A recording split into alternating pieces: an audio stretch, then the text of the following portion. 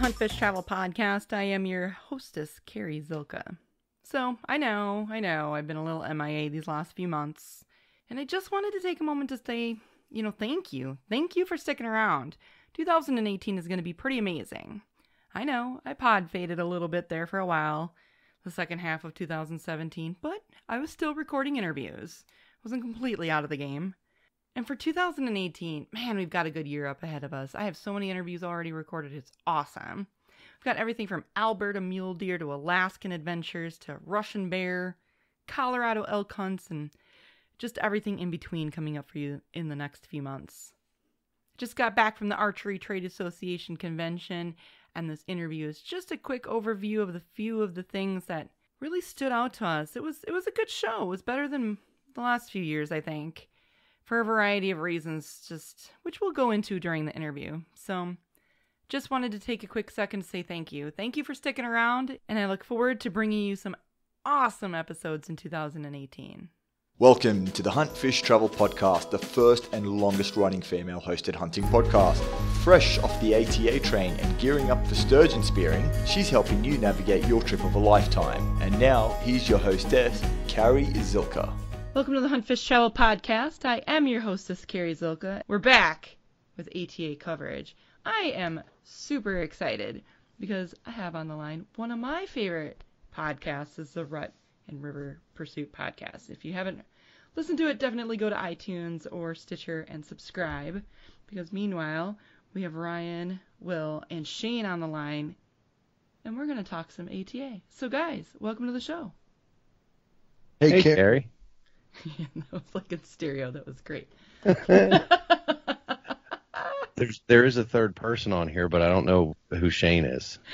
got catfish with us though. Oh yeah, that's right. I'm sorry. my apologies. My oh, apologies. Oh, sorry. He just kind of looked at me funny. I don't think he was going to talk to us until we until we switched that up a little bit. He actually went to the phone booth right before the podcast, and it comes out as Catfish. Oh that's right. Shane's nickname is Catfish. Why don't you Why don't you tell listeners where you got that nickname? Catfish. Mm-hmm. Um, I spent most of my childhood with uh, my parents were factory workers, and they a lot of times worked overnights. So my grandfather raised me. So when they got off work, they wanted me to be as sleepy as they were. So my grandfather took me catfishing at night and uh, he always said, you know, come on, little catfish, come on. He, my my grandfather named me Catfish. I caught a pretty decent channel cat one night and impressed him for a little for a little guy. And uh, when Pap Pap called me that all through grade school, he passed away. It it went away and it came back during football in high school, and then uh, I moved off, went away for a little bit again, and then when I went to college, I uh, I lived with a house full of baseball players, and uh, they all had nicknames. And I was a tad bit older than them, so when I showed up, they uh, asked me who I was, and Catfish just fit the bill. So it was uh, never. I never went back after that. Nice. Yeah. Very cool. Pappy gave it to me, and then uh, the baseball players reiterated it with force. Yeah. made me believe in it. awesome. Well, tell the listeners a little bit about you guys' podcast. What do you talk about, and what kind of subject matter do you cover? Go ahead, Ryan. Oh, you're going to throw that one to me. well, Carrie, the truth truth be told, um, there is, really isn't anything that's epic in the outdoors that we won't cover. Um, as far as the podcast goes, the greatest part about it is right now there's seven active contributors on the podcast, which means regardless of the topic, we've got somebody who is – at any particular level um, within the, the realm of that topic. Meaning, we could talk about duck hunting, and we got guys who will slaughter them, and then I've never been duck hunting a minute in my life. Uh, and and again, regardless of the topic, we can cover that whole thing. We got guys that are fly fishing um, junkies. Junkie. Well, junkie isn't even a fair enough uh, explanation of that. I mean, Sean Holsinger's got a Holsinger's Fly Shop out near Bedford, Pennsylvania uh, professional fly fishing guide. He's in, uh, he's got world titles, I think, as far as uh, fly tying skills mm-hmm. go. And, uh, yeah, but basically we just, we sort of cover the gamut of all things epic in the outdoors. Awesome. What made you guys decide to start a podcast? Go ahead, Will. Will. that was just something that uh, it's kind of natural for us. I mean, we we did uh, um, some of the video stuff early on, and uh, it didn't really take. And uh, it, you know, everybody has a camera now, and you got to really be exceptional to stand out. Um, wait, I just I have a group of guys that just, you know, can't Stand out. yeah, the, the, you can't copy the heart of a man. Like you can't, gra- you know, you can't copy Uncle Buck, or or Uncle Catfish, or you know Ryan, or the you know I can go down the list. They're all individuals, and uh, and we all are at different places. It just made sense to kind of start to share this journey, and and audio uh, podcast you know, definitely made the most sense. It was we had most of the equipment just laying around, so add a couple more mics, a couple more wires. And honestly, if we weren't recording it, we'd be sitting around Thursday night doing it anyhow. So, yeah. So yeah, that's what made the most sense. Awesome. So let's talk a little bit about ATA. What did you guys think about the show this year? the weather was phenomenal. Yeah. It's like the first ice storm in 15 years in Indiana. I heard. Yeah. no, no shit, right? That was our luck. It was Yeah, like uh, Going home through Ohio was was a little silly. Uh, Ohio needs to work on their road clearing Yeah. skills, by the way. Amen. Aside from the weather, though, I'll jump in here real green quick. salt. What's that? I said they have that green salt. That looks weird. Well, I'm colorblind. I didn't even notice that. I just noticed that like I'm driving down I-70, which is a giant interstate. That's you know 70 miles an hour is the speed limit, Yeah, yeah. and we're two lanes pretty much dry pavement. And then all of a sudden, I, I jump into left lane to pass a truck, and I've got a quarter inch solid sheet of ice Yeah, that was for a quarter mile. It's like did the plow truck driver just decided to pull up the blades for a couple, you know, just for a little bit? Ah, I'm on break. Okay, back at it. Yeah. Here we go. And just leave giant chunks in the road. I saw nothing. I was looking at the, the ceiling of the Dodge Ram. I'm like, go, man, go. Let's get home. First day that was like 65 degrees or something stupid, and then and then minus. Quite the change into day two. I'm excited to tell you what I like most about ATA. I'd like Yeah. to hear. Well, I was going to say just real quick, my my impression from the show was uh, having never been to a trade show like this. You know, we grew up uh, with the, the Harrisburg Outdoor Show in uh, in Pennsylvania, pretty much in our backyard, and I've been at these consumer trade show or consumer shows rather uh, for the outdoors since I could walk. Right. Probably even before that, my parents were pushing me around in a stroller. That was the So- thing to do. It, and it's huge. It's a massive show here in Harrisburg, but Smashing shins. it's smashing shins, Yes. exactly. Don't slow down, you'll get run over. But going to this show, it was it was a new experience for me. I mean, I've worked in the archery industry part time off and on for the last 25 years. So I knew what I was looking at. I knew what everything was. And uh I just never experienced the show like that. The business that gets done out there is well, impressive. It's it's really impressive. It's on a different level. Awesome. I thought it was a good show this year. It was better than the last couple of years, I think. The attendance was down, it seemed like, but there were a lot of rumors, a lot of rumors going around about why that a lot less media was allowed, a lot less TV folks were allowed, that the um, manufacturers had complained in years, especially last year, because last year there was a lot of media. The manufacturers have been complaining that there was almost too much media attending, that they were being asked, you know, everybody's got a YouTube channel these days, and they were all being asked for interviews. And while that's fine, it was taking away from actually making sales, and Right. which is what they're there for. It's funny you mentioned that because Ryan and I had the podcast equipment with us. Mm-hmm. in the the just aspect of being there and feeling the show out. We actually did a podcast, me and Ryan, but we did just debated about doing a few podcasts with people we know there, and we said let let's just put it in a bag, put it away, and let's enjoy the show because it it is business oriented and we didn't want to take up 30 minutes of their time or 15 minutes of their time at that show. Now, Yeah. the consumer show is different. They like crowds because crowds pull people in. You know, they're trying to sell it right there to the people in front of you. So it's a little different at the Great American Outdoor Show. They they want you to come over and podcast with them. So Absolutely.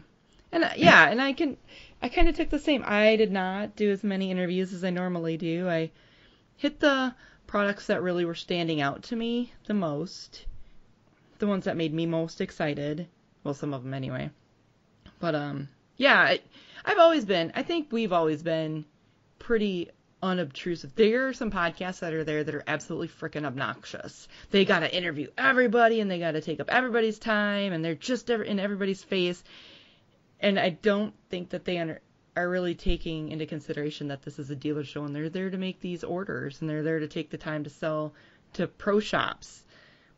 They've got PR departments and media guys and that's who you should be talking to really. But so yeah, so they did not let some media folks got denied entrance. So it didn't seem like it was just the show floor wasn't even that crowded. Well, I don't mind that one bit. It gave us Yeah. more to breathe and run around and ride the Rambo bike, oh, Agreed. Oh, which gets agreed. me, gets gets me right back on what I was. I have to get it out there. I'm excited. I waited all night to tell you how amazing the Rambo bike is. All right, well let's let's talk about some of the some of the products that really stood out to us. Let's talk about the Rambo bike. The Rambo bike. I have not been on a mountain bike in probably 10, 12 years. But Ryan drugged me over to the Rambo bike and said, "You have to see this."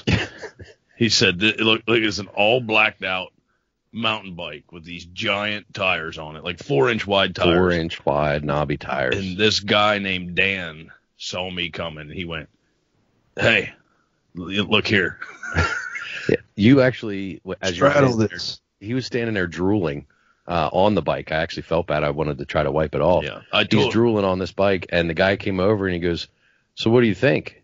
And of course, Catfish said, "I'd give just about anything to ride one of these up and down the streets of Indianapolis."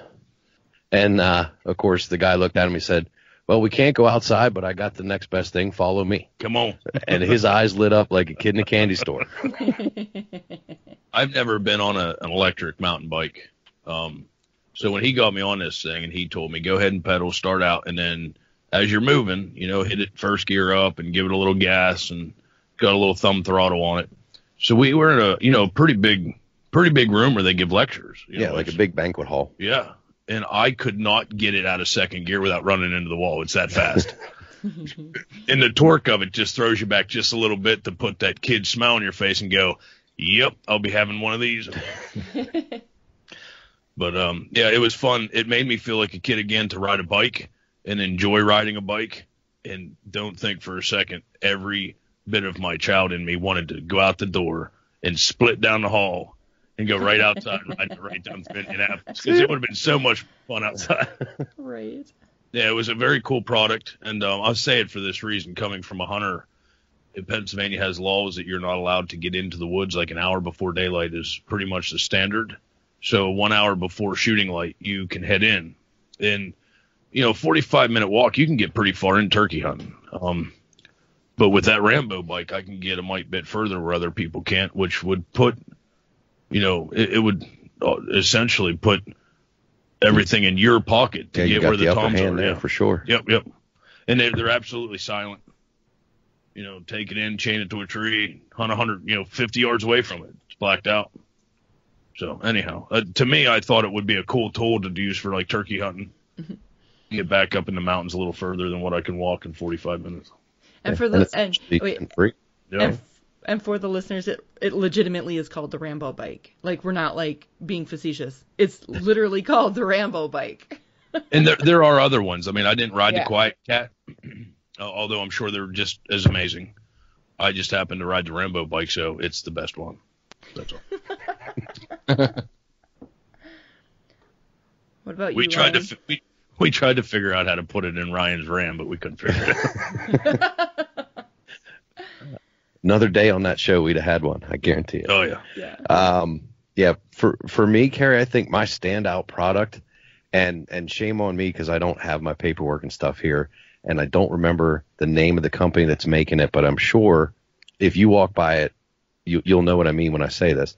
It was a four in one tree stand blind. Yeah. Does that ring a bell to you at all? No, but I wasn't looking at tree stands.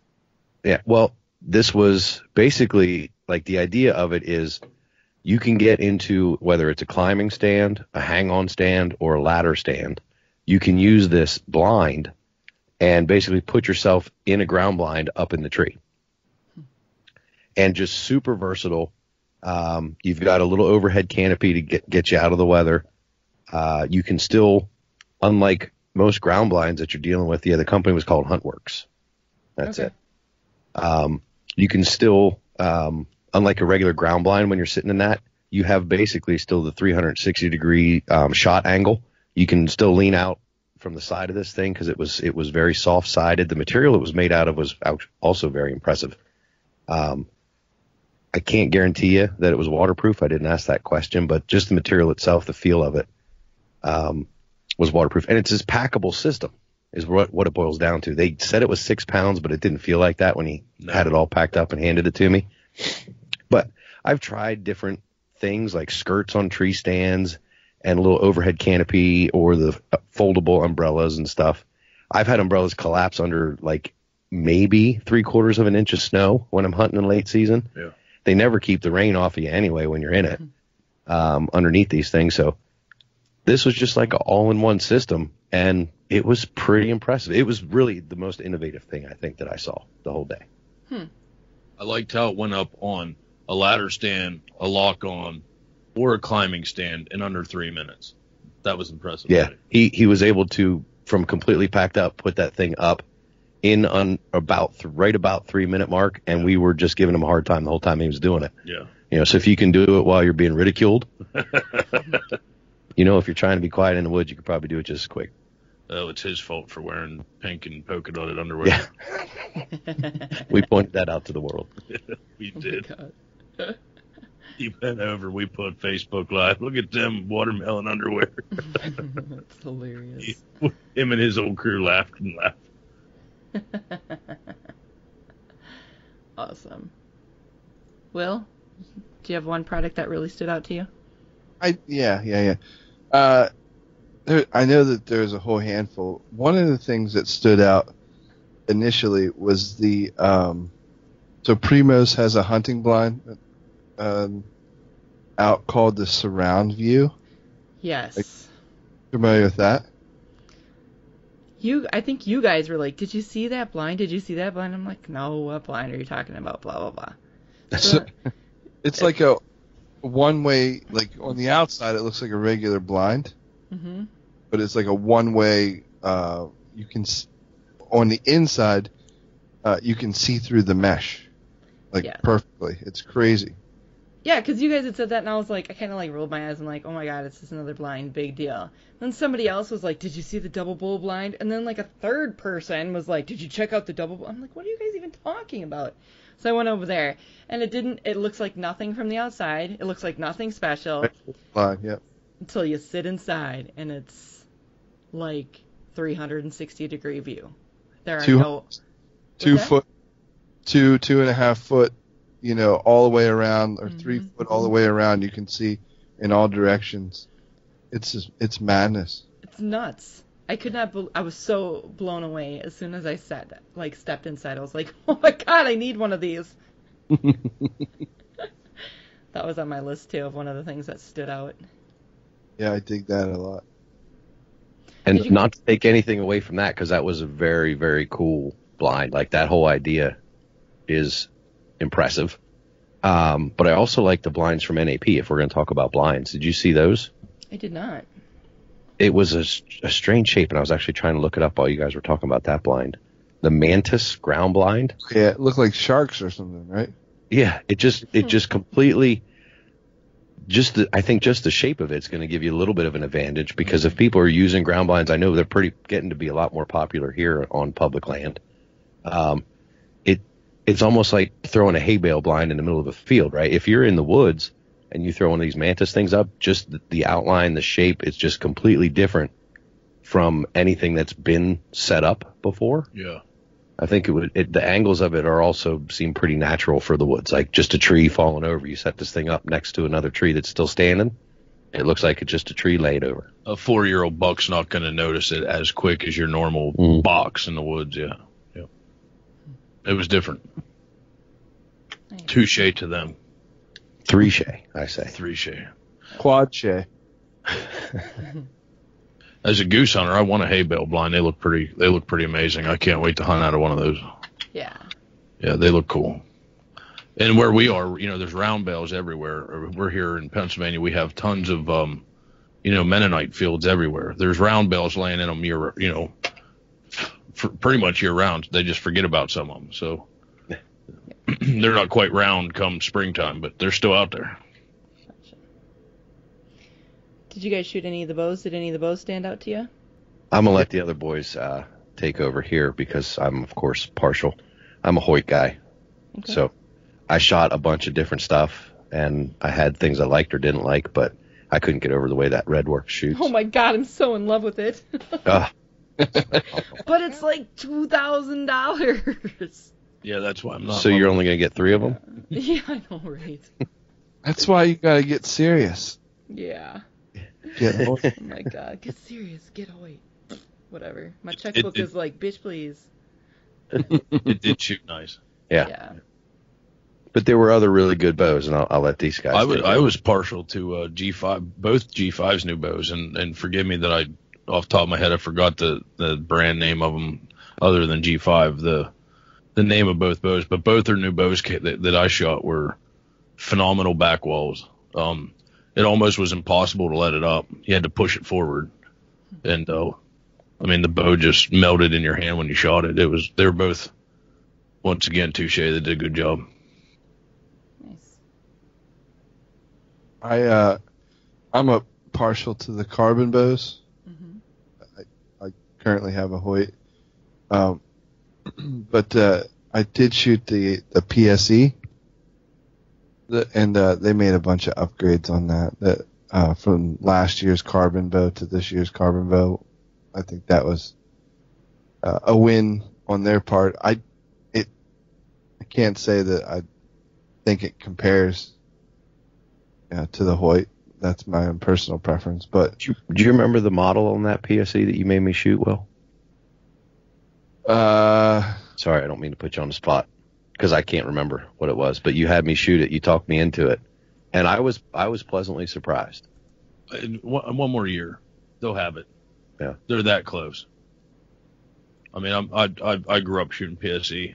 Yeah. That's all we had. You know, um, turned it into Hoyt in high school. Yeah. Um. Uh, P, PSE's right there. They got it. I- It- they're right on top. I mean, they're they're so close you can taste it. Yeah, I I work in a shop now that's selling Hoyt, Mathews, and Elite as their three flagship, you know, brands. And I formed my opinion a number of years ago, unjustly, mind you, but I formed my opinion about PSE. And, you know, three days ago at the ATA was the first I ever drew one back since I formed my opinion. And, uh, I was, I was impressed. that I'm was, not gonna lie. It was a that good was shoot. the expedite. Expedite. Thank you. Yeah, and then I- I, sh- I shot the uh, the Carbon Air Stealth E EF.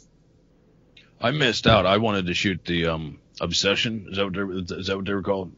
There's a there's a company there called Yeah. Yeah. Obsession Bows. Yeah. Mathews Obsessions. Yeah, and I I didn't get a chance to shoot them. Every time I walked over, there was somebody that wasn't going to buy it in front of me shooting. But that, that being said, I was ready to push him out of the way. I never had a chance to shoot it, but it, I wanted to, so I'm looking forward to that soon. Is that that Matt Gray one that we did some some close up pictures yep, of? yep. Yeah. It, it was it was a gorgeous looking bow. Oh yeah. You know, and the nice thing is here is, you know, um, selfish shout out here, but one of my big fans here is in Pennsylvania is we do have a shop a lot like ATA, and I'm nowhere affiliated with them. I just it's where we go. If you want to go shoot a bow, then the place what I where I'll go is when they will be the first ones probably to let you shoot it is down at Lancaster. So Yeah, they they get a little bit of everything. they do, and so I can't wait till they get it and I can go shoot it with a little bit less crowd in front of me. But That uh, G5, that's the Logic. the logic, that's yes, that's my new bow. 330 feet per second, seven inch Oh. break. I'll have one in red, white, and blue. That's the one with the dual cams. All three bows. Yeah, it's quad cams. and the string runs center of the riser. That's yeah, that's pretty slick. You know what impresses me the most about archery is how quiet the bows have become. Off the shelf, Yeah. quiet. No, I mean there was no there was no string stabilizers. A lot of them didn't have string stops on them, um, other than you know just what was on them. Uh, no cam stops, Yeah. and no stabilizers. You can't hear them go off. I mean, I mean you'd be hard pressed to to say that they compare to just bows three years ago. It's they're I'm highly impressed of how quiet they have made bows, and the Did- speed coming out of some of these are atrocious. Did you guys get a chance to shoot the Elite Ritual at all? I Uh, did, I did not know. yeah. They Their big their big claim is they're so quiet and so efficient they need no rubber pieces to absorb energy at all on the bow anywhere. This bow is a beast, and I am so buying one. I've I've always been a big elite fan. Yeah. I'm I'm gonna need, like you said, I'm gonna need like three of them in all Yeah. sorts of colors. Yeah, yeah, and while I have no problem believing that claim, because I know the last couple of elite bows that that I've drawn back and, and taken some shots with have been phenomenal. hmm Um, I still would be putting some stuff on it. Oh, me too. You, don't, you can never wrong, you can but- never go wrong. Anytime you can add something soft rubber to your bow. You mean you mean spend more great. money on your bow? Well, yeah. yeah. It was beautiful though. I shot it and I was highly impressed. 335 axle axle was like 33 inches and I was like this is perfect in my hand. Speaking of beautiful bows that are in red, white, and blue, Ryan uh, and me were walking out the door late. Um, Saturday, I believe it was. Friday. Friday, Friday. Friday, Friday.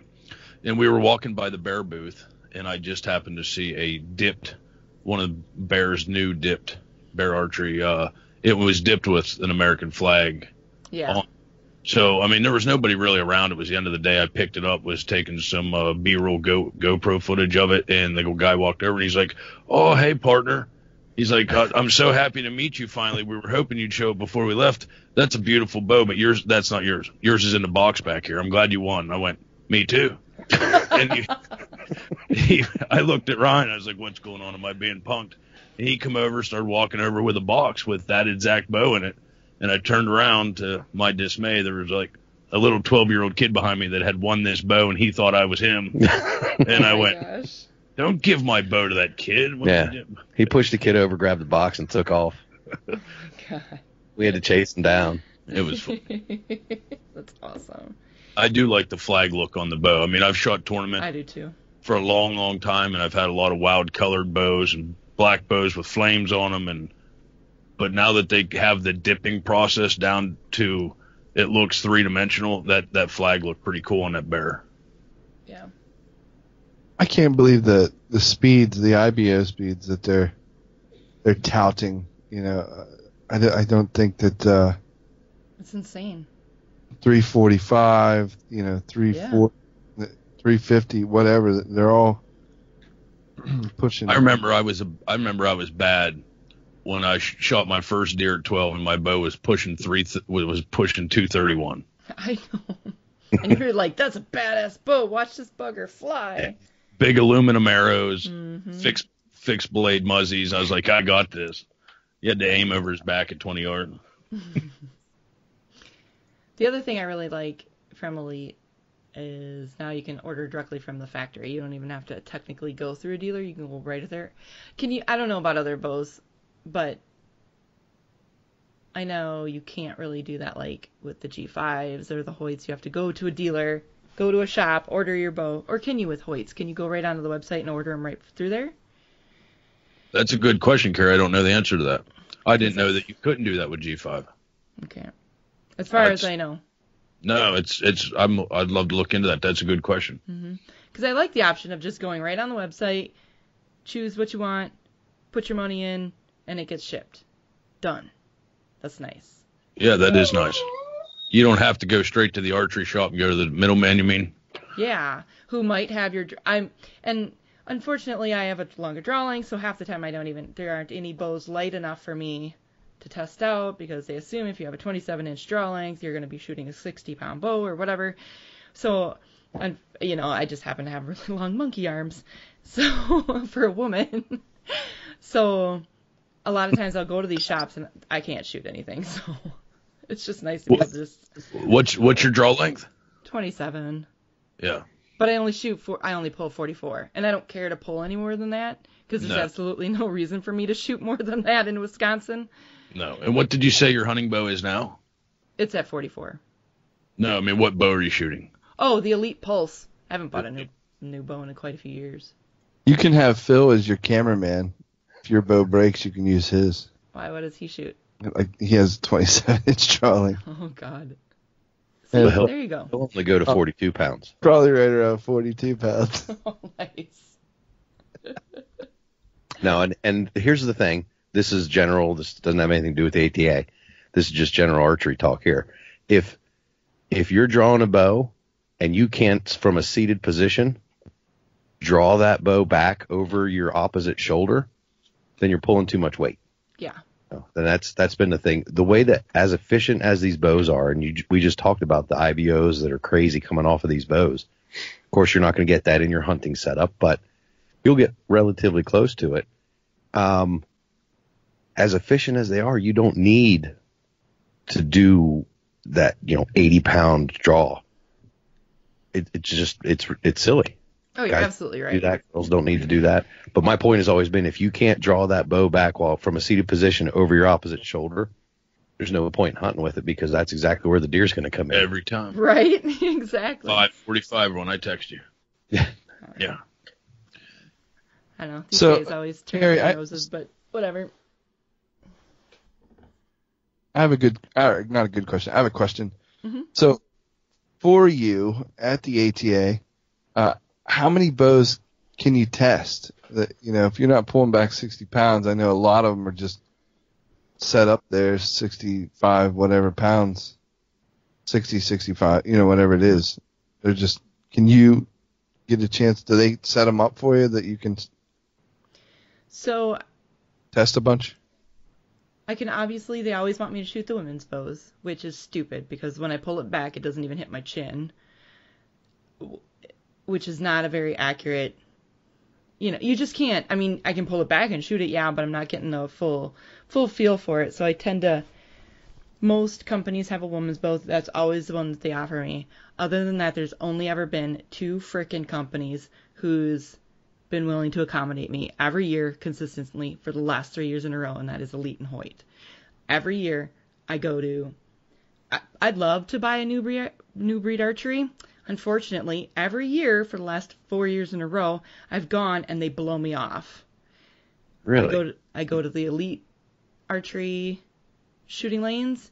I tell them what my draw length is and what I shoot, and they're like, "We'll figure it out. We'll get this 50 pound bow down for you." I mean, all That's these a great that's a great testimonial. Absolutely, and Hoyt is the exact same way. I remember, oh god, four or five years ago, they were like, I was so frustrated and so upset. Well, maybe six years ago was my first ATA. I was so excited to shoot the bows. There was no bows I could shoot. Hoyt was like, give us a half an hour, come back, we'll have something for you to shoot. And they took a 50 pounder, they had a 27 inch one, and they cranked it down for me, and I was able to shoot. That was the only one I was able to shoot that year, the CRX. And Yeah. um, every year I go to these shooting lanes, I get so frustrated to the point of tears because I just I just want to try the bows too. I mean, I'm you, there's so many shops out there that have female co-owners or owners. When we were literally at the New Breed Archery um, lanes, there was a woman who came after me. She was standing behind me and she came up and was like, "I want to try a bow or whatever." She and she was like, she too had a longer draw length and she's like, I can't pull this. And she tried and she was like, Nope, I guess I didn't eat my Wheaties this morning. That's a shame. Guess I won't be buying your bows. And literally walked away. and I wanted to high five her so bad. but there's there's no excuse for that. they Uh, just didn't I want to could- I take the time. say- Well, I could say three, four years ago when you used to have to actually swap out mods on the Mhm. cams, Yeah. but now you you remove a set screw, maybe two from top and bottom cam, and you, you You're actually done. can turn the module. You don't need to switch out modules. No. and then all you got to do is have have the Allen key for the right size for your limbs. But it's a standard thing from one company to the next. The size of that limb pocket bolt is standard Yeah. across the industry. Yeah, right. They can't tell me they didn't have those Allen wrenches there. You you hit it. There's oh. there's no call for that. It's laziness. It is, and it wasn't just New Breed Archery Obsession. The, I mean, most of the places, most of the shooting lanes just wasn't. They weren't interested in taking the time, and that's fine. I guess who I'm Yeah, going to promote the heck out of? You know what, Carrie? Drive down here our way and and come to the shop where I work part time, and I'll make sure you get to shoot every bow on the shelf. Yeah. I'll take the whole day with you. And I'll bring all eight of my bows and we'll set them down. Yeah. I know it's it is frustrating because oh, women are the fastest growing demographic in the industry, but we're not. We're going to sort of cater to not really, but kind of. You know, we'll make sort of an effort. Hey, we have a woman's bow. Well, what if I'm a tall girl who doesn't want to shoot a 25 inch? Wait, wait, wait, And let's- you, let's- you certainly are a tall girl. Let's back up here. Let's back up here, Steph. So, I think one of the things I have to tell you that I liked most about the ATA show is Carrie Z. Probably my favorite, maybe top three, is Carrie Z herself. However, when I did walk up and meet you for the first time, it wasn't a stab at you to say, "Oh, honey, you're you're taller than I thought you were." But I think it might have been a small stab when you looked at me and said, "And you're not as tall as I thought you were." That oh, was you great. know, That was a great meeting, by the way. I loved it. It couldn't have went any better. Uh, she waited for you, bud. She she was did. like, oh, I, I, we had we had lunch. I loved her to death, but it, I was surprised. I could see definitely how you have a longer draw, that you might need a bigger bow, um, and that's a great thing. But to have somebody come up and tell you that you have you have to shoot the young lady's bow, that would be frustrating. It is, and it's always been that way. From the very first, my very one of my very first quote unquote viral articles was the very first ATA where bear archery absolutely offended me. And you know, you guys know me. I don't get offended very easy. No. But it was they totally dismissed me. There was a guy standing behind me, literally looked around me and was like, "Do you want to shoot a bow?" And he was like embarrassed. He was like, "Well, I'm pretty sure she does too." And he was like, "Well, we have a ladies' bow you can shoot." And I was like, homewrecker. Yes, the home wrecker. And I was like, are you effing kidding me? Oh my god, I was so angry. It was just so, it was just un, uncalled for. And you know, these companies have changed over the years and I think they I am not I mean, you guys have seen pictures. I have like Amazonian friends and we all shoot like you know, but I think that's but honest to goodness, the elite archery and Hoyt archery, them shooting lanes, they have always bent over backwards to provide me a bow that I could at least try. And no one else ever has. And maybe Yeah. that's why I have a soft spot in my heart for those companies. But you know what? It's all about the customer service. Yeah, and and that's that's credit to them because that's effort that they put in, and you know they made sure that the text that they were putting on those ranges would be accommodating, and that that, that goes a long way. You're not breaking my heart when you say that you know Hoyt's in that list and Elite's in that list. Those are those are both near and dear to my heart too. Yeah. But yeah, I'll tell you this. other even- companies have no excuse really well, it wasn't just bow, it like wasn't just bow companies either. I I had Yeah. two different companies there that weren't bow companies that totally blew me off just trying to talk about their product because they knew I wasn't there to buy twenty thousand units for my shop. They Yeah. didn't have any time to talk to me, which it doesn't feel good, Carrie. You know, I'm, I'm there too. I've, I've been invited there. I want to talk to you. I'm I'm interested in your product, but you don't want to show it to me, so I walk away going, hmm. I'm not so sure I'm interested in that now. You got that right. Oh, you got that right. And for people like us, we do have a rather large reach. People listen to us and they believe in us. And if I go out there and say, buy this bow, people are going to take notice and they're going to check it out at least. So it's silly to treat anyone like that. Yeah. And you And- don't know. Maybe I do own a shop. How do you know I don't? Maybe Well, my that- that was brother the does. that was the whole thing. They didn't know me from Adam, but I, you know, mm-hmm. I don't have the classic, you know, whatever look to me, so they didn't want to talk to me. But plus, I was standing right next to Ryan. I think he blew it for me. Yeah, Too funny. got to be good somebody something, thing. We had a good time. We did. It was a good time. And and i'll be honest and i know like people who listen to this are like oh my gosh she's just being a bitch because she's a girl and she's got a chip on her shoulder. And that's not it at all. You guys know me. That's not it at all. I no one likes to feel no one likes to be dismissed no matter you know what you look like or what whether you're a female or a male. But it, over the years these companies have gotten way way way better, way better at just being all more inclusive. And I should say in all fairness I did not even attempt the Bowtech or the PSC shooting lanes because they were just swamped. So they may have accommodated me as well. I just don't know. But the rest Well, of them I- did not. I think that was the thing for me was it wasn't as crowded. You said numbers were down. However, when I did go over to want to shoot something, bad timing, whatever the case may be, they were pretty busy at Yeah. when I went. So yep. But then I felt bad because some of these other lanes, some of these crossbow lanes had like nobody there. Yeah, and if you wanted to shoot a recurve or a traditional longbow, you could have shot all day long. Yeah. They're- them- them poor guys were sitting there bored. I know. Just kind of sad, but everybody likes the gadgets. Yeah. That's, It's, um, speaking of gadgets, how about that? Uh, the rangefinder sights. Oh, was that from I? That was an IQ sight, wasn't it? I know. Um, what Garmin had one. Oh yeah, Garmin. Oh had 'em. yeah, Garmin had Yeah, that I- new I one that had the rangefinder or whatever in it. Yeah, I think I think the other one that I was playing with was I think was that IQ or oh, I don't remember. Yeah, The saw I- Garmin Xero. thing. I should have taken notes. The Garmin Xero range-finding bow sight. Groundbreaking, auto-ranging digital laser bow sight for a thousand dollars. What? So Yeah. you got to have something to put on your Hoyt RX. right? I'm like, that's three thousand dollars, dude. We're almost as expensive as my car. What the hell? hmm It was neat looking though. It was very neat, and it was interesting to have something very groundbreaking like that at ATA. It's been a couple years since there's since there's been a product that was really like wowing people, and that definitely did it. I felt bad. I, I I don't know the the the guy uh, or the company, which is probably good.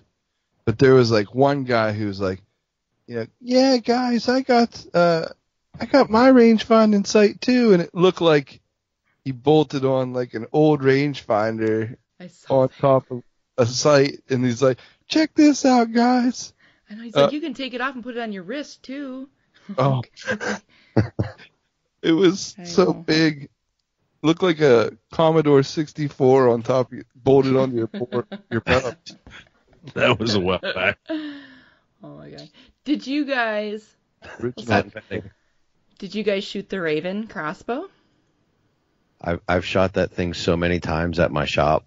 Yeah. My son is obsessed with it, and he keeps saying he wants to buy one. So no, I, I looked away as soon as I walked past it. I've shot them here as well. The thing is so amazing. It's amazing. Perfectly level cams, just the whole oh my gosh, what is the the rail? Um there's like There- no friction or There drop- is no rail. There's a couple of rollers Oh, up at the okay. front, but other than that, there's no rail. It's a free floating. It's it's like your arrow on your bow. There's there's maybe a contact point at the front when you come to full draw, but as soon as you release, there's no contact. So there's on that no rate. friction. That- That's Yeah. what makes it so accurate. And the, and and I love how the whole like what would be the equivalent in a, in a rifle of a receiver. That whole thing, you click a little button, it slides forward on a cable, connects to your your string, the block, yeah. right, and then you just little ratcheting um, cocking device on the back, and it just click click Oh, click it's- click. it's you can cock that thing with one one finger. It's definitely genius. Yeah, it's brilliant. And it's Amazing. ambidextrous. So Well, did not 10, 10 point had something similar. not like this though. Yeah, yeah, yeah. it, it's It its looks- crossbow was similar in the fact that I think it had like the same deal where it was ten inches axle to axle, and when you cock it, it's six, and it had a lot of the same look Yeah. to it, but you're still riding the rail. Yeah, You know, yeah, yeah. the the Ravin's just got a couple more things, but I'm sure that those are you know patented yeah, yeah. type things, and they can't really just rip it off. Yeah. I ran into the pro shop that I go around here, um, Ackerville Archery. I ran into the owner, Jeremy, and we were talking about the bows, that- what he had seen, and he mentioned the Ravin, and I was like, I like them, and I maybe thought about seeing if there was a partnership to be had, but I was like, I just don't know. When I think about potential sponsors or companies that I can work with, I have to look at can I sell this to my listeners? And I was like, it's a two thousand dollar bow, you know, crossbow. Most of my listeners, we're working Joes, we're the average person, and he's like, I can't freaking keep them in stock. He's like, last year I bought like 50 of them, and I wish I would have bought a truckload. And I was Right. like, really? They have a model that's fifteen hundred. I mean, you don't have to go for the Oh two my thousand. God. Even Like, still. Buy the one thousand dollar one, Carrie. I'll paint it for you. okay. But I was I was just kind of surprised because I thought the price point would be a deterrent. And he was like, nope. He's like, people come in here and they say I want a I want a six hundred dollar bow or crossbow, and then they shoot that one and they're like, here's my credit card. It, it- The ten know- very comp- uh, similar to they got the uh, fourteen hundred dollar uh, stealth NXT. and it Which- looks it looks similar, correct? I took Yeah. pictures of it. I, th- I actually thought it was the Ravin when I walked over. Four From the, from the distance, it looks similar. Well, I mean, speaking, let, let's let me ask a question because it is one of the legit questions that I asked at the show. Um, I'm not exactly known. There's no busting here, first of all, so I'm not exactly known for wearing expensive clothing. This is a safe space, bud. Go This ahead. This is safe space. So I don't exactly wear lots of nice clothes. Um, I wear what's com- I wear what's comfortable and what's broke in because that's what I feel comfortable in. However, I felt exactly at home when I walked over to Sitka to at the show. Um, it, um, I'm not so sure. I, I actually talked to a, a competitor brand. I sat down and talked to him and asked. I actually pulled a stool up. Remember? Yeah. Yeah, yeah I, pulled. I, I grabbed a stool and I pulled a, a I was over at uh, Nomad and um uh I pulled my stool up and said, "Hey guys, what's um just just enlighten me. What makes a five hundred dollar coat? Like I'm I'm not getting. It's really thin. I mean, is it made of sealskin? I mean, I'm not busting on their company. I just didn't know why it was so expensive Narwhal. that- that Sitka's coat was like 500 some bucks, and that was where all the cool people were. So that's I wanted to check it out. However, Did Will? Did you say Norwal? Yeah, it's got narwhal, narwhal Um, on it. Fantastic. I want to have that song stuck in my head now. they had the, they had the Angel Flow zippers on it, which were amazing. They're like YKK zippers on steroids, so they did work nice. Um, Stitched in by angels. my question is, is what is it? Just like a Rolex? Is it a BMW? Is it just a coat that costs more because you're the cool kid, or is it really that good of made? Like I'm not. I have to look into that because I'm new to the whole Sitka brand. Um, that's the first that I've really seen it because we're from Pennsylvania. They don't sell it here.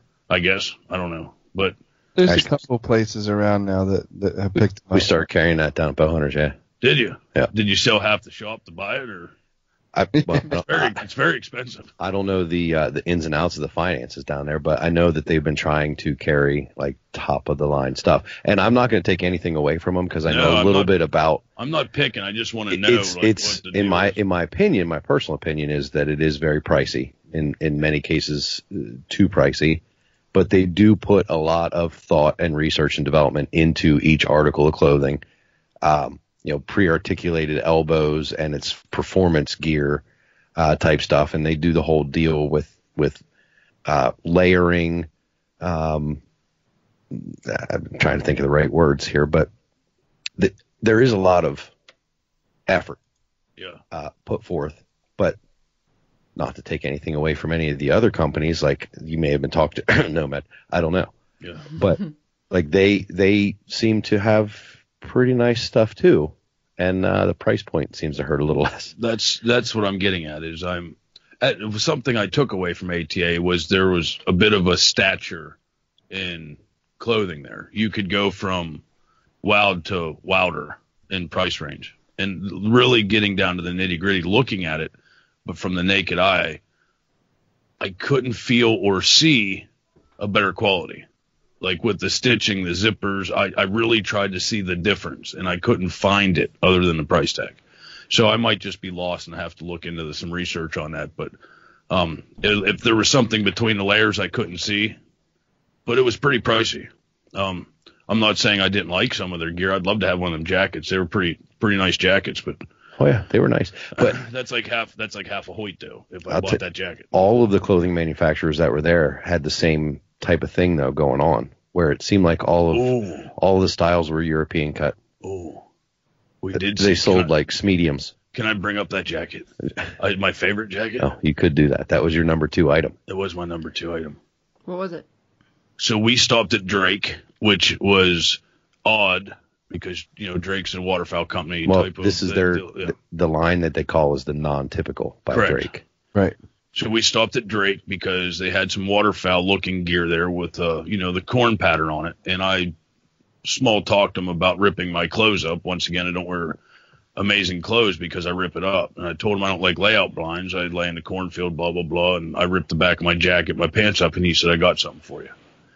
And he got in the back and he got me out a the new, not seen by anybody, not released on any media yet, the new layout blind coat. It literally had like fire hose looking material built into the back and like a piano player's tuxedo that folds out to cover your legs to lay in the cornfield in the mud in the cow crap. And I fell in love with this coat. It was it was pretty nice.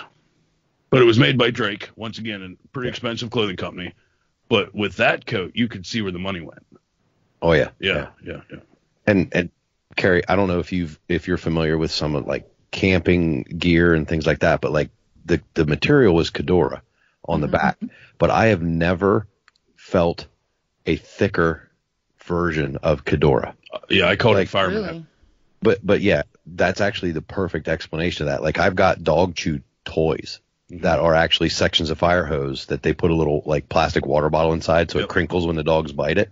That's exactly what the material felt like was that piece of collapsed fire hose. If you could rip that this heavy coat piece up, of Cordura. I would challenge you to rip the back of that coat up. But was- that being said, was it really heavy to wear? I mean, would it be very No. comfortable to wear? That's the crazy part. It didn't weigh any more than my Drake waterfowl coat does now. Wow. It really didn't. I, I didn't feel the difference. and I don't I don't have that comparison because I don't have any Drake waterfowl stuff, but I held it up and I held it out, sort of doing. Uh, we we did do a little talk up about it in a GoPro video that we recorded, and just holding it out on the hanger, talking about the jacket itself, looking at the zippers, things like that. It didn't feel any heavier than I would have thought it should. No, a winter coat. Yeah. Ryan, you you weren't there whenever I signed on with another camo company and gave all the old stuff away. No, I wasn't there. That's why I don't have any Drake stuff. anyhow, I, anyhow, I was excited um, talking about the clothing line that was at ATA. That coat caught my eye. Um, very, very innovative, and I can see where the extra money goes because it's something new, exciting. Nobody's done it. Um, so the extra money would be well spent. One of a kind is always unique. However, I have to bring this up too because we're talking about the bows. What are the bows that were there what are those bows that were there that looked like the the building, like the kids' Lego building block looking bow? And I'm not picking on. them. I Oh. don't know what they were called. Did you see these bows that had like like grid pattern flat Two risers. two risers Yeah, with a it's- handle in the middle? It's a shoot through riser with a little handle. I forget the name. Darn it! I'm ruining the podcast now, but it's th- those were either super super innovative,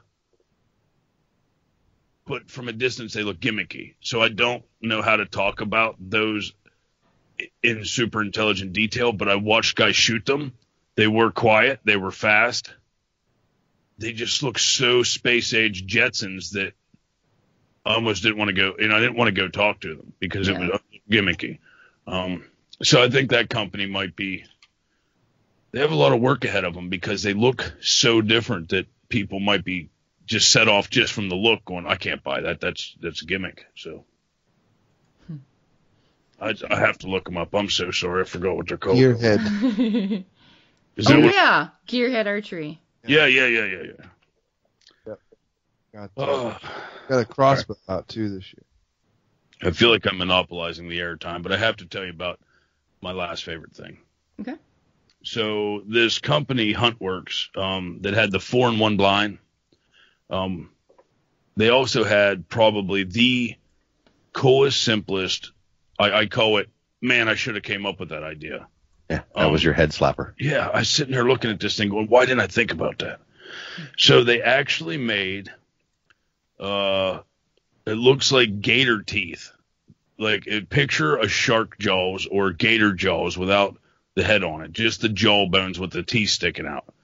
And they actually made it so that it sits on your tree stand seat and bolts down so you can't take it off with giant teeth that are reflective. So when you climb up in somebody else's tree stand, it looks like a giant set of shark teeth and you can't get it off. So you'd have to sit on these shark teeth if you want to sit in this guy's tree stand. It's to protect your tree stand without taking your tree stand down. It's called the Gator Jaw. It was hilarious. Huh. I mean, it was it was super simple and inventive and hilarious and going.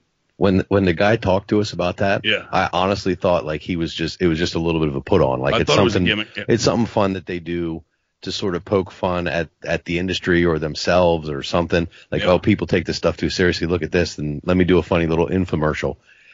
They weren't kidding. No, they had a it. box. Had it's them in the sold. What's it called? It's called the Gator The Gator Jaw. Gator Jaws. Yeah. And there's a slogan on the box. I remember he like he said it as part of his sales pitch. yeah. Um, and then that was making me laugh and stuff. And, and I truly believed that it was a gimmick, but it says it right on the box. What's what's the slogan? Bites their butt, saves your butt. Bites their butt, saves your buck. Yeah. It's Yeah. right on the box. Yeah, bites their butt, saves your buck. Yeah, it's so people don't sit in your tree stand. But you'll have to look. I mean, once you look it up, you'll understand and you'll chuckle yourself. Because if you saw it in person, you'd look at it and go, "There's no way somebody put that in their tree stand." but if you climbed up in your tree stand and there are reflective teeth staring at you like a giant mountain lion snarling at you in the dark, you're not going to sit in that guy's tree stand. It's like jaws coming at you. Right. Yeah. All right, I'm done. Go ahead. I'm excited. I was excited about ATA. I That's can tell you about that's lots of things I liked and disliked, but la- you know, whenever the Sasquatch came out and give Ryan and me a big hug and pulled our beards, that was it. I fell in love with AT. I'm going back. That was so funny. I think I the think only it- thing, the only other thing I had on my list was the, because I'm a bit, I love, I love bow sights. I mean, I love bow sights. Um, the uh, fuck, what is it called? The HHA Optimizer Tetra. Did you look at that at all? Do you guys look at sights a lot when you're there? Uh, just a few. I, I didn't look at that that one. Okay. Well, it's, like- an HHA and it's an optimizer, so it's on that little pendulum sliding scale, right? Yes.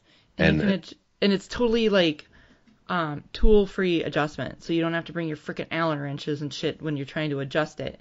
Right. You got a little. What, little I'm sorry, Carrie. What was it called again?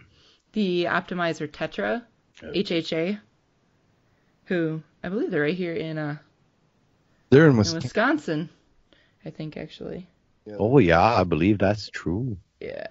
That was my best Yeah. on tonight. Sorry. No, it was That was that was, Wasn't- that was wasn't pretty good. terrible. That was pretty Yeah, you don't have to have tools. Working You it. and you're in the woods. No. You just chuck those buggers. Oh my god, I cannot believe you just said that. what? You're gonna get out there and chuck that bugger. One day you're gonna come here and go sturgeon spearing and you're gonna chuck that bugger right through that hole. Uh, how about that? Feel Oh like my god, the to- listeners are like, what the hell is she talking about? Uh, well, Gary made our our uh, son campfire intro. Oh my gosh. That's true. Total him Funny. chuck that bugger. like Sidon.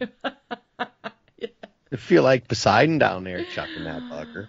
Oh my I- god. I'm working on it. I like uh, a lot of the. I don't know. There's a lot of tchotchke stuff, like like little things that don't make or break the hunt, but Mhm. but may you know I don't know. They may add up to some kind of different level of comfort, which I like to kind of look around for.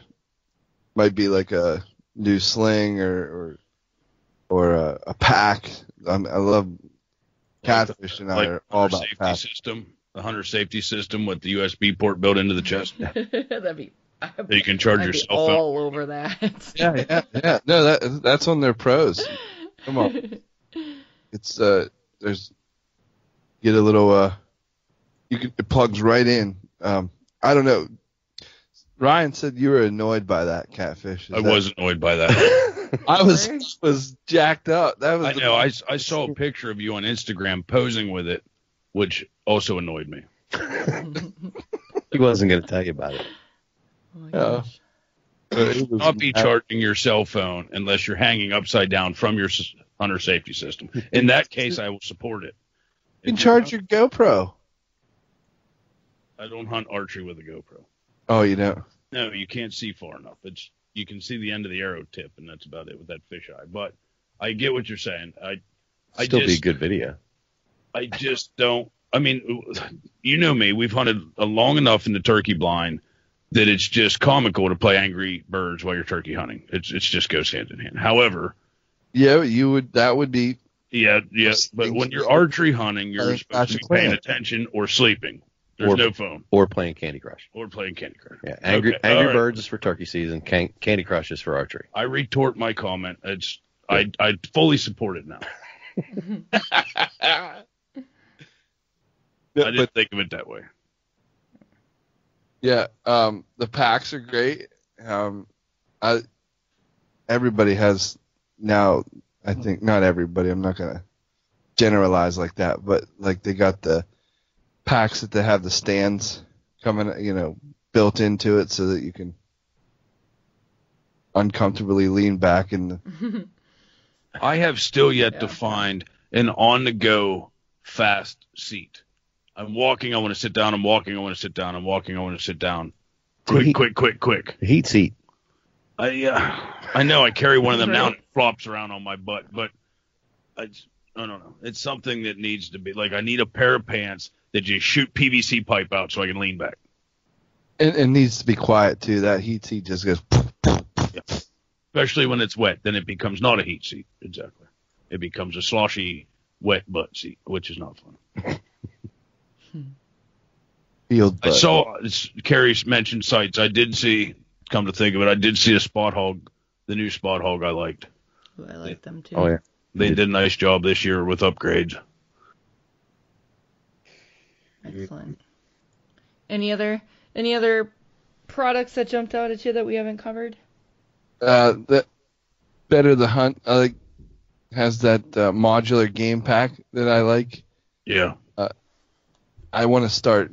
I, how do you pull out your deer in the woods um, when you're successful? Carrie do you drag it out whole or do you pack it out a little bit at a time? Or Well, for I think it's only recently that we were even able to quarter a deer. You had to take it out whole before you check it, you know, and then check it in and before butchering it. So it was always drag it out whole. Right. gotcha. There are some states that are still like that, right, Carrie?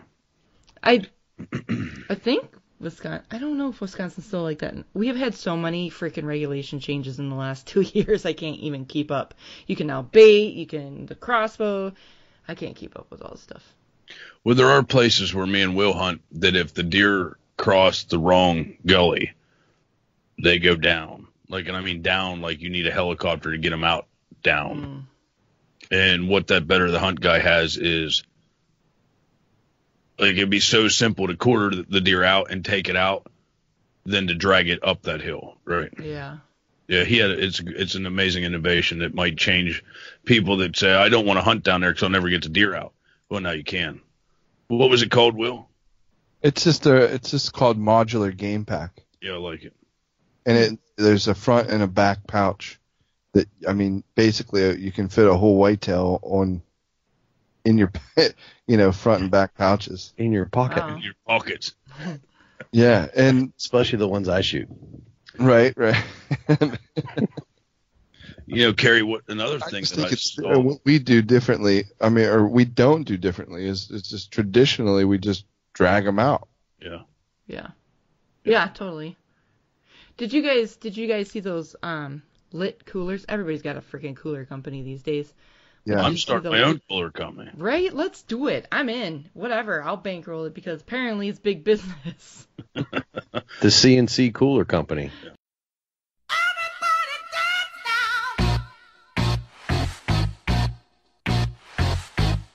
Captain should carry coolers. Works for me. I'm in. CNC cooler. I'll Wow. bankroll this project. I like it. It won't just light up. It'll have a disco ball in it. The music. Now you're talking my CN- language. Will, did you just say CNC Cooler Factory? Yeah, yeah. Okay. Like, oh my god. Perhaps we may run into a copyright issue. I don't. so they're not making coolers. True. True. Good, but I will hit them up for a, a music spot.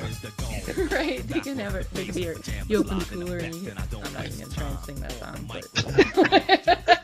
but I think one of the big misses at ATA this year was, um, I mean, one of the tough things is walking around and everybody, not only coolers, everybody has a scent lore company now. Everybody has a deer farm that bottles doe pee and doe and estrus. It seems to be the new thing too. Um, everybody has the best scent on the market. Um, but in the corner was this. Ryan and I just happened to see this guy with the smallest booth, the most undecorated booth. So we stopped to talk to him because nobody was paying attention to him. Um, and I think they missed one of the best things at the show because it was um, he had uh, for places like Pennsylvania and other places that don't allow doe urine because of uh, chronic wasting disease. Um, there are some regulations on it. It's really difficult to get a good scent in a synthetic. And this guy, what was it called? Lockdown? Lockdown. Yeah. lockdown. He he, I mean, he was in the corner. Nobody's paying attention to him, and we walked over, and he showed us some of his products. He has an applicator that um, is different than anything else, but ultimately, his synthetic doe and heat, his doe estrus, um, even his earth and acorn blends and corn blends, they were spot on Yeah. synthetic. Yeah. I mean, And- I could, I told him to once again, touche, like you got it. And his big selling point though was the applicator, not even the fact that he had this fantastic smell and synthetic stuff. He had the applicator, and I think you described it perfect as we were walking away, Catfish. You're like, that reminds me of the old My uh, my the bingo daubers. My grandma's bingo dauber. yeah. And you would basically hang this this bottle upside down, and it would get that that dauber part of the applicator would get wet Yep. and stay wet, but it was like a sponge, so it's holding back all the moisture or all the liquid that's inside. It Last was all season, you said. it was, it was ingenious. Yeah. I mean, it was spot on. And I don't Yeah. give many people credit for synthetic deer pee, but hey, he had it. I don't. know I like your, I like your synthetic deer pee, buddy. Let me smell that again, please. He he grabbed two bottles off of the off the table and he ran back and gave himself a golden shower in the hotel room. It's crazy. Yeah, he's not the kind of guy that would turn down a golden shower. No, but speaking of ATA, it, it was a miss. Static He was, he was definitely in a corner, and he was easy to walk by. Yeah. Yeah. Summit had those heated seats. I don't know how uh those 60 70 dollar heated seats push a little button and warms your tush. Mm, I didn't. I I'm missed. in. I missed that. It's a lot. It's probably similar to that technology that the, of that hand warmer that you were you were uh, got to work with a while ago. The one that I did with um oh yeah, yeah, yeah. I forget what it was called. H H and G or something, yeah. This is just a little. I think it's just a little push button and long lasting. Uh, you know, temp- Anything that, anything that can keep you warm or dry and keep you in the field longer is worth its weight in gold. it's king. Yeah. Unless it's really expensive and then I'm not buying it. Or a USB charger. I'd in rather be cold and wet. Well, according to Summit, it's worth seventy bucks. That's not bad. I can do 70 bucks. I can do uh, yeah, we can do that. I'd buy a $70 grilled cheese sandwich if it was that good. Mm. It would have to be like pinto amazing with pinto cheese. Do you guys do do you guys do blog posts in addition to podcast episodes or are you guys just strictly podcast? Strictly podcasts. Okay. I was just wondering if you were going to do any ATA wrap ups or anything like that. On your show, I'm assuming. Well, Right? Me, me and Ryan kind of already did. Okay. Ryan and I did a podcast on the last day from the lobby, just sitting around brainstorming what we saw. Yeah. Yeah, it was supposed to just be like a 15 minute little opener that we were going to figure out where what we were going to do with it. Next thing you know, he looked at me and he's like, "We got an hour in." Yeah, well, that's, that's what's fun about it. Is Yeah. that's what we do. We We, get just talking talk. We and- talk anyhow. So. Yep. Awesome. Well, cool. All right, guys. I think we'll wrap this up. ATA wrap up here. ATA 2018. Appreciate you guys coming on and chat with me about the products that we saw because there, there were some really, really good ones. There were quite a few actually this year that got me pretty excited. Mm-hmm. So we'll see what we'll see what good show. 2019 brings. Us too. Yeah. All right. Well, well, thank, tell the thank you, Carrie, for having us on. Appreciate it. Yeah. Tell the listeners where they can find out more about you and listen to your podcast. Well, you can check us out at rutandriverpursuits.com. And on there, you'll find all the information you need uh, to be able to download the podcast, iTunes, Stitcher, Google Play, all that fun stuff. Uh, and then you'll also find the links to find us on Facebook, Instagram, um, and then you can follow us all as individuals too, because like I said, with seven full-time contributors plus a couple pro staff folks, we always got stuff going on. Um, and when you go to the website, also make sure you check out uh, this week's pick of the week. Um, This week's pretty good. apparently, apparently somebody on our team must have been at the ATA where they got to see some kind of crazy white-tailed deer um, decoys that you can wear on your head. As a hat. Yeah, you saw those, No. right, Carrie? Yeah. No, I hate It's half. It's half I a shouldn't say I hate that company. Yeah, It's I know. They've been around for years. It really I, I mean, I really. couldn't not put it on my head though. I had to try it on. And of course, it's a white-tailed deer, and it's supposed to be a decoy. So if you're going to put on a white-tailed deer decoy hat, well, I had to make a scrape. Yeah, you did too.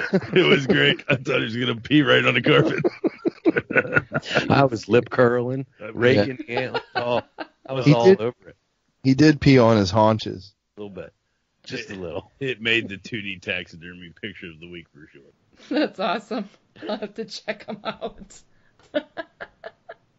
Ah, Thanks for tolerating All right. us, Carrie. Yeah, well, again, thank you guys for coming on. This has been a very fun episode. And that'll do it. Thanks so much for listening. Don't forget to find the show on iTunes. Just search for HuntFishTravel Podcast and hit the subscribe button. You can also follow me on social media. You can find HuntFishTravel on Facebook, or you can follow me on Twitter and Instagram at Carrie Zylka, C A R R I E Z Y L K A.